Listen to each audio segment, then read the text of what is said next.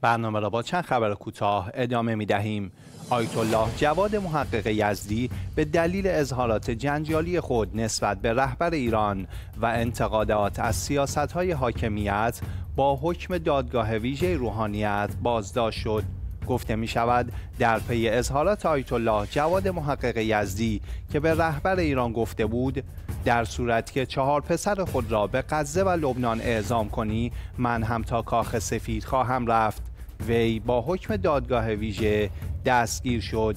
این گونه رخدادها نشان دهنده ادامه روند سرکوب روحانیون و مراجع تقلید مستقل در ایران است.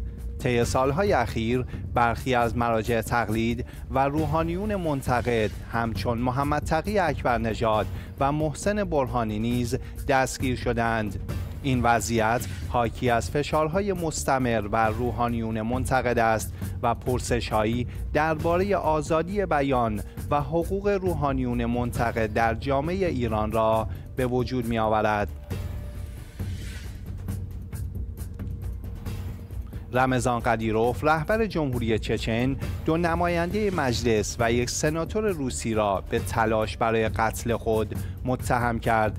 وی از قانونگذاران روس از جمهوری های داغستان و این گوش خواست تا بیگناهی خود را ثابت کنند و در غیر این صورت تاوان دشمنی خونی خود را خواهند پرداخت.